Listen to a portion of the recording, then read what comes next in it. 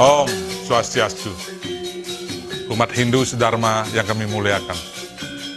Kami, direksi, dan seluruh keluarga besar PDAM Tirta Mangutama Kabupaten Badung mengucapkan Selamat Hari Raya Galungan dan Kuningan bagi umat Hindu Sedharma.